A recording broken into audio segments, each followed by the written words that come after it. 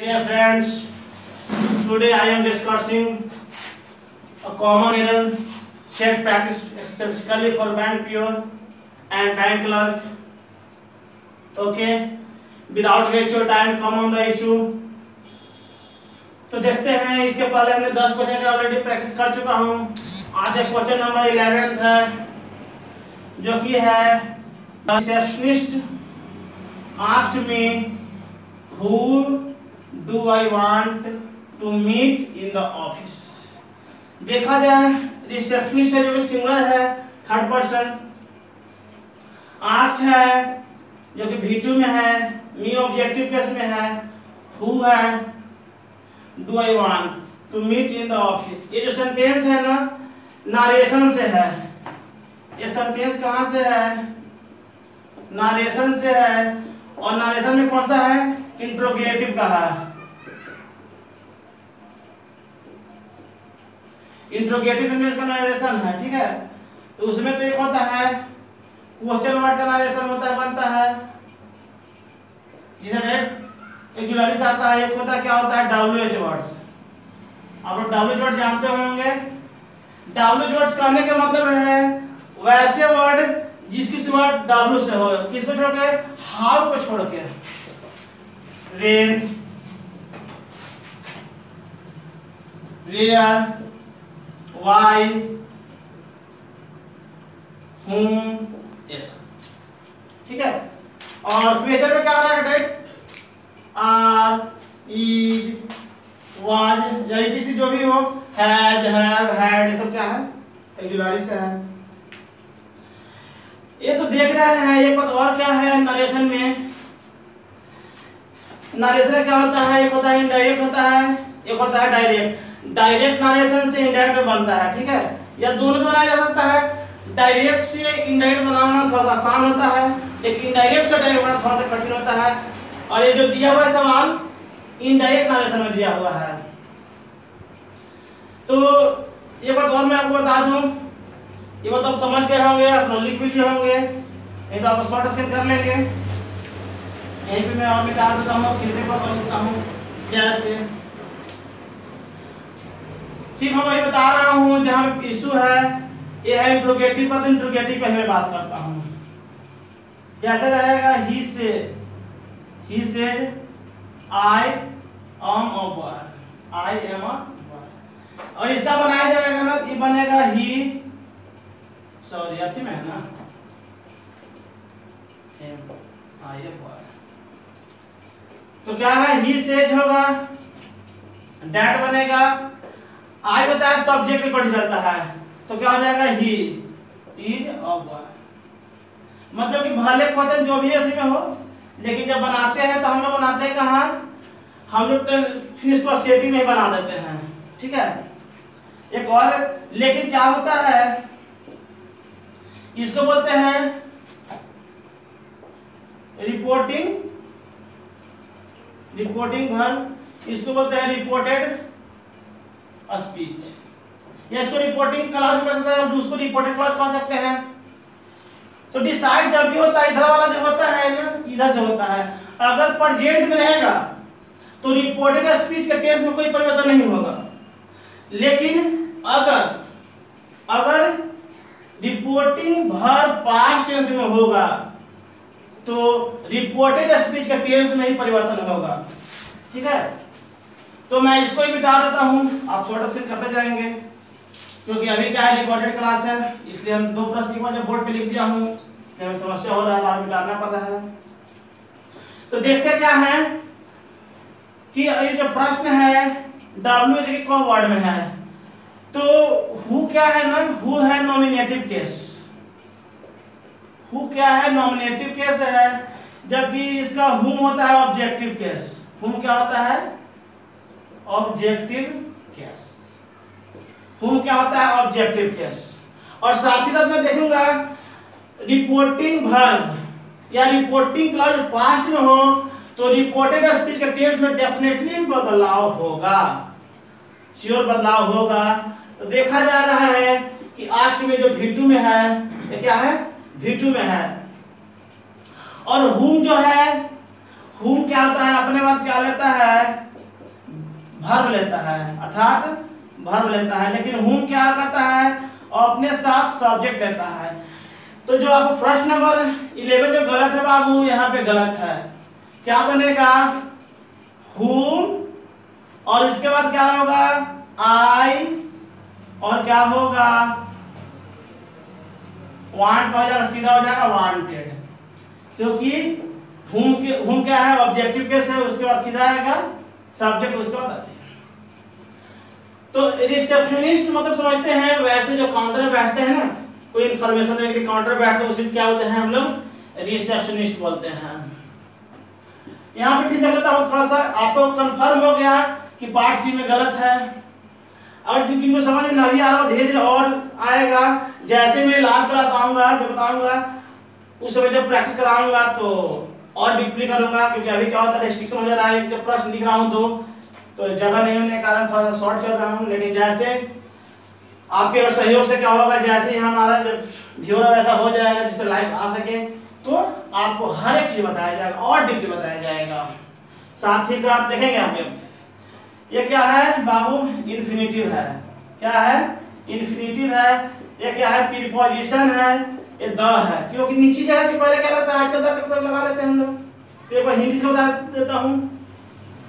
Receptionist का मतलब बता दिया। जो क्या होता है इंक्वायरी काउंटर बैठते हैं। Inquiry the receptionist asked me जो रिसेप्शन काउंटर पर बैठती है ना, वो मुझसे पूछे, whom I wanted to meet in the office?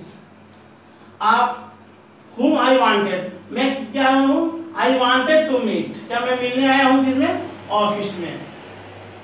ठीक है ना? इससे भी किससे पूछने बोला किससे आप मिलने आए हैं? नेक्स्ट देखते हैं।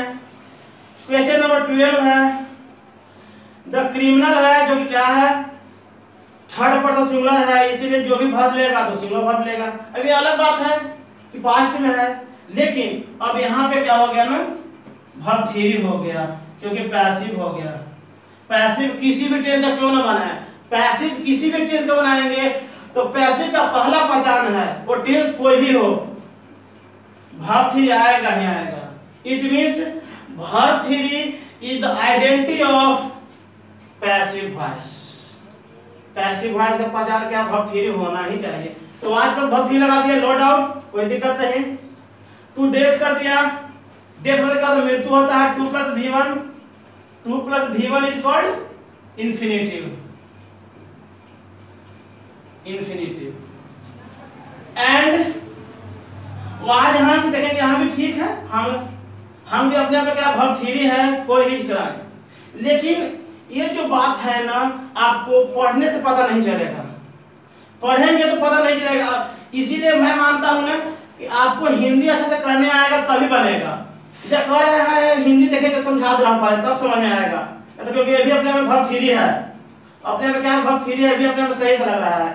The criminal was sentence to death अपराधी क्या गया सजा दिया गया।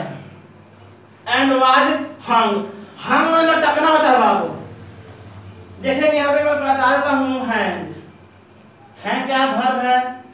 लव टकना लटकना इसका सेकंड फॉर्म होता है हंग और थर्ड फॉर्म भी होता है हंग पहले तो मैं ऐसे ही देता हूँ भार्व को, क्योंकि आपको जानकारी होना चाहिए। भार्व को always written in small letter verb को छोटी लेटर लिखा जाता है। भार्व कैसे लिखा जाता है भार्व को हमेशा छोटी लेटर लिखा जाता है हैंग एक और हो गया हैंग हैंग माने होता है भार्व है V1 है V2 है V3 है हैंग का होगा। हैंग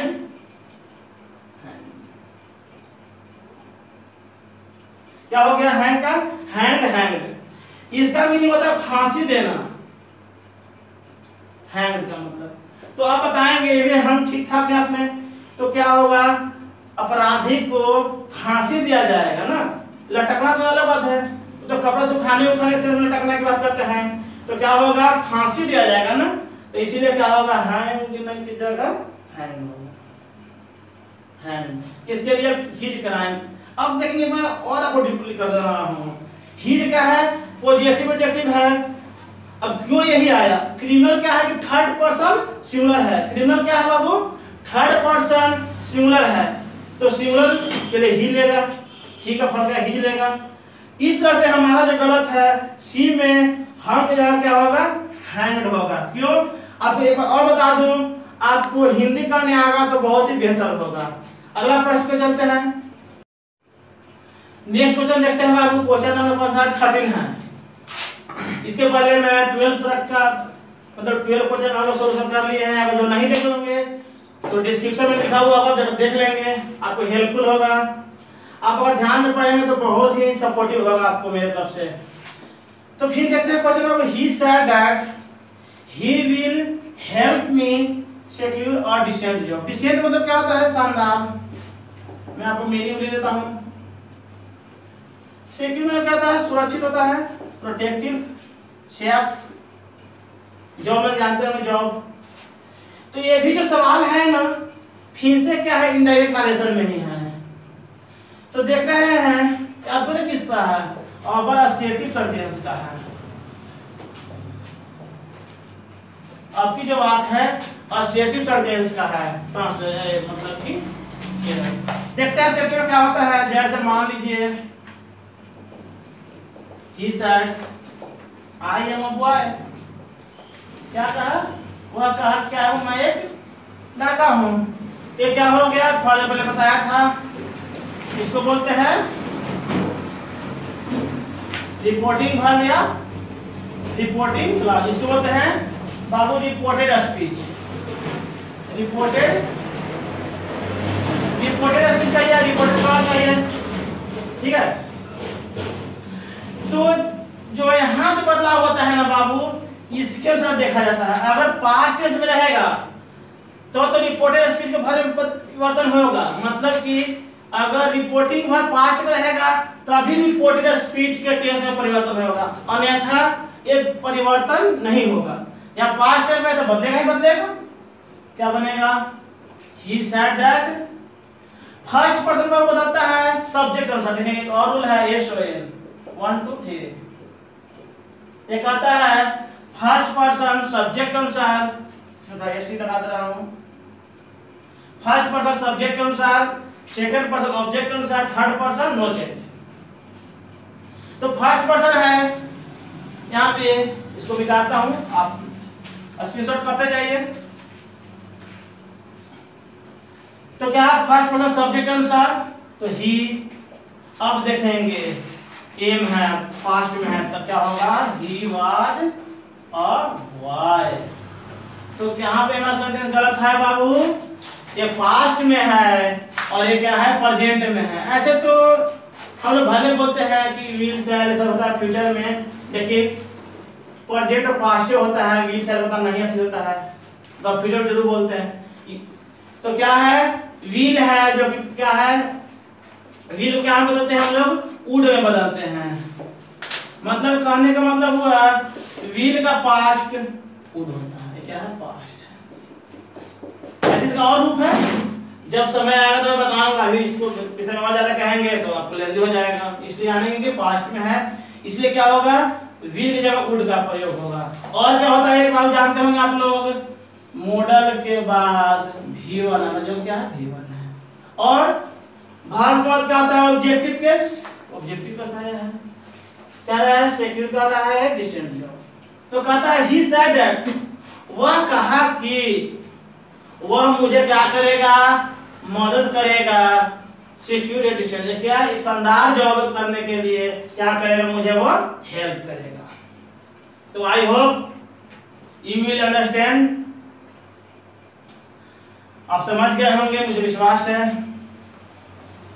और मैं आपको बता दूँ अगर किन्हीं को जब ऐसा क्लास करेंगे जिनको और कुछ एक्स्ट्रा पूछना होगा तो अपना पीडीएफ या शॉर्ट स्क्रीन भेज सकते हैं। उसके लिए मैं आपको मोबाइल नंबर यहाँ पे मेंशन करता हूँ। Eight seven, eight nine, five zero nine two seven रहेगा। टेलीग्राम पर रहेगा। टेलीग्राम चैनल रहेगा। उसमें ग्रुप नंबर क्या है? Complete complete English. L English. और किसी को और कुछ चाहिए तो आप ये नंबर से मेंशन करेंगे, उसका टेलीग्राम को ओपन करके यहाँ क्या आएँगे, लिखेंगे तो ग्रुप मिलेगा कंप्लीट इंग्लिश क्लासेस के नाम से, ठीक है? तो मैं इसको भी इरेज कर देता हूँ। तो देखते हैं बाबू, इस क्वेश्चन को कहता है the villager the villagers fled away their houses when the saw the floor was rising क्या है? द फ्लोर वाज राइजिंग हाँ क्या क्या? फ्लोर वाज राइजिंग तो राइजिंग में क्या होगा बढ़ना। तो देख हूँ सबका, थोड़ा सा मीनिंग में दिखा देता हूँ, बढ़ना। वाटर फ्लोर क्या होगा? बाढ़ बाढ़ समझते होंगे, बाढ़, ये भी क्या अपने आप निगेटिव सेंस है। सौ सौ मैंने क्या होता देखना है, ये क्या है? सी का सेकंड फॉर्म होता है सौ। सी का क्या है? भी वन है तो ये भी टू है। हाँ अब देखेंगे एक बात और ध्यान रखेंगे। तो दियर जो है ना विलेजर क्या है? कि नाउन का ये प्लुरल है, इसीलिए क्या हुआ है, इसके लिए दियर आया हुआ है। क्योंकि प्लुरल है तो प्लुरल के लिए दे का होता है, वो जैसी एडजेक्टिव दियर इसलिए दियर आया है। तो कहता है द विलेजर्स फ्लीड अवे ये भी क्या है? V2 में है। फ्ली मैंने कहा था, भाग जाना होता क्या होता है फ्ली मैंने भाग जाना। ये चला जाना।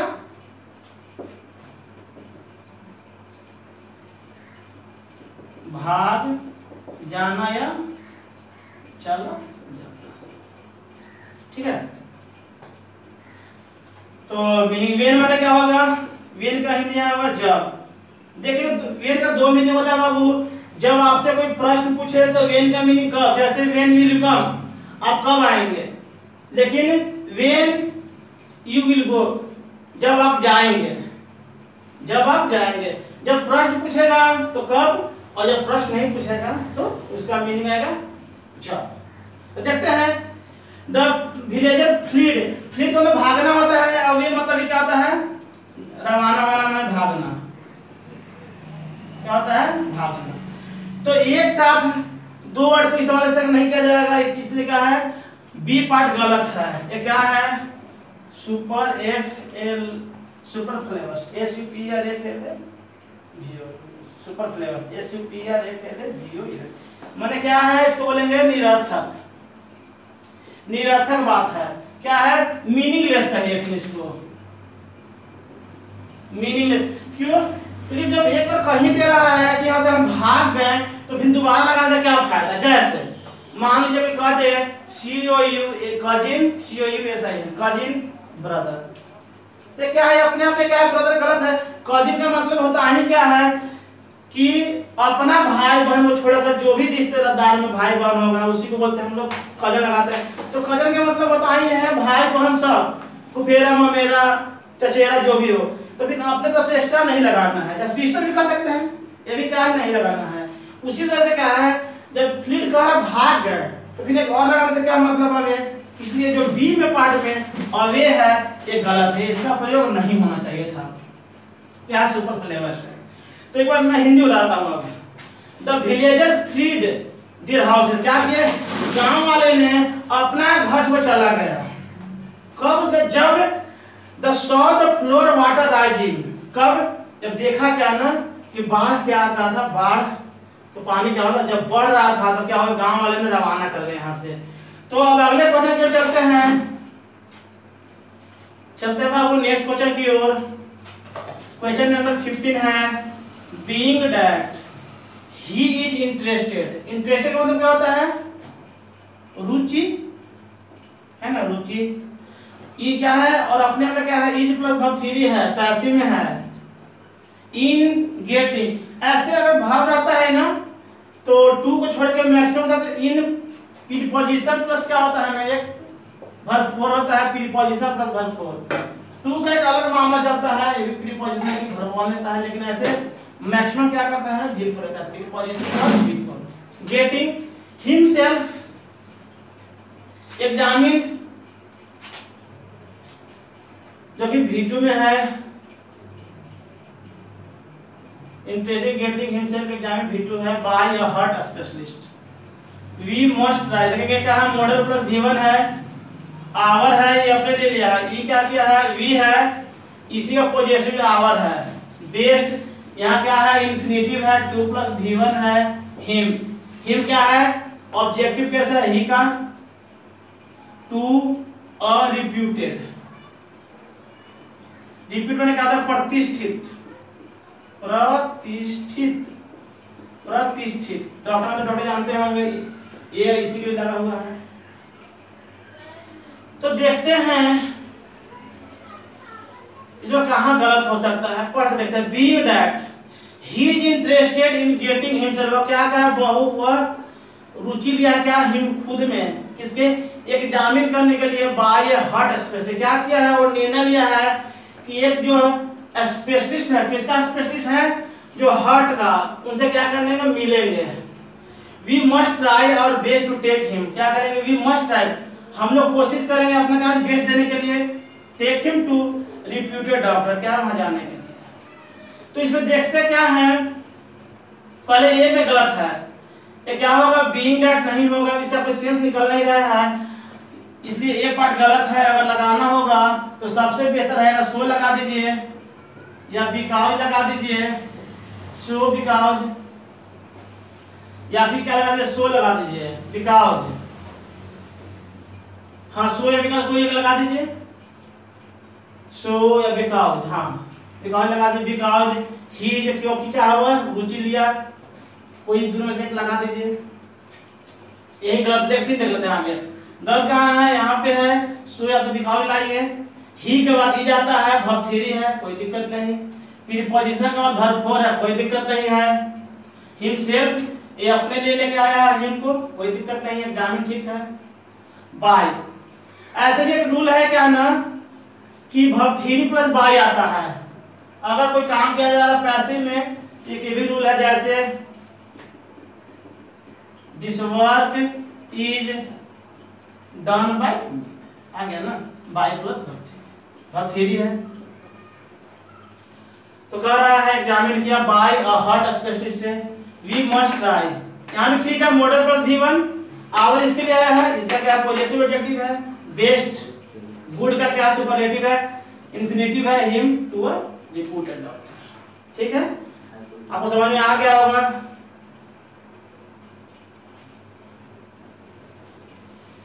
आगे देखते हैं। नेक्स्ट क्वेश्चन है the college is holding special lectures for their students and teachers so that they may get enlightened about the economics problem college में तो जानते हो कॉलेज में कॉलेज होल्डिंग वाले रखना है ना? ऐसे होल्डिंग वाले पकड़ना में तो रखना। लेक्चर में जाते हैं क्लास पढ़ाई class lecture class dear student किसके लिए विद्यार्थी जानते होंगे टीचर जानते होंगे? सोडेट का नहीं होता? ताकि। बाबू सोडेट का हिंदी होता? है ताकि they may get they may get enlightened enlightened में क्या होता है? ज्ञान। क्या होता है? ज्ञान या बुद्धि। तो देखेंगे पैसिव में है। मे मतलब कि मे गेट इनलाइटेड किए हुए अब थ्री है अबाउट द इकोनॉमिक्स प्रॉब्लम ठीक है? तो होल्डिंग में जो स्पेशल माने क्या है विशेष लेक्चर हो गया? अबाउट ठीक है? देखते हैं। The college is holding a special lecture for देखेंगे बाबू क्या है? कॉलेज कैसा है? जो क्या है? थर्ड पर्सन कॉलेज क्या है? थर्ड पर्सन सिंगुलर है। और कैसा है कॉलेज है? नॉन लिविंग थिंग है। देखिए, है क्या? थर्ड पर्सन सिंगुलर है तो हम लोग इट का पोजेसिव इट क्या है? क्या है प्रोनाउन है? इट क्या है प्रोनाउन है? इसका पोजेसिव एडजेक्टिव क्या होता है? इट्स होता है। इट क्या प्रोनाउन है? अपने साथ नाउन नहीं लेता है, समझ गया? इट अपने साथ नाउन नहीं लेता है, इट्स पोजेसिव एडजेक्टिव है, अपने साथ नाउन का एडजस्ट कर सकता है। ठीक है बाबू तो सिंगुलर है तो सिंगुलर ही होना चाहिए। इसीलिए क्या हो रहा है दियर नहीं होगा बाबू यहाँ पे क्या होगा, इट्स का प्रयोग होगा। अब देखेंगे। The college is holding special lecture for its students किसके लिए? और टीचर के लिए। ताकि they may get enlightened about the economics problem एक बार हिंदी देखेंगे। कॉलेज क्या रखा है? एक स्पेशल लेक्चर क्लास रखा किसके? किसके? और स्टूडेंट और टीचर के बीच की ताकि देव में गेट इनलाइटेड क्या हो सकता है? ज्ञान बढ़ सकता है। किसका ज्ञान बढ़ सकता है? किसका? किस क्षेत्र में इकोनॉमिक्स के क्षेत्र में। जो इकोनॉमिक्स के प्रॉब्लम है ना, उसके लिए क्या हो? ज्ञान तो बढ़ सकता है। तो आज का क्लास में यही पोस्टपोन करता हूँ और साथ ही साथ मैं आपको गुजारिश करता हूँ कि लाइक और शेयर ज़रूर करें।